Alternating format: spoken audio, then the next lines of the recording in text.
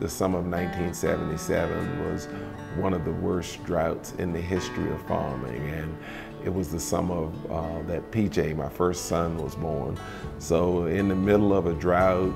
I had a wife and I had a newborn son and I had no income from the farm and I got a call from the people in the fishing industry that said they needed some help. So it was an answer to a prayer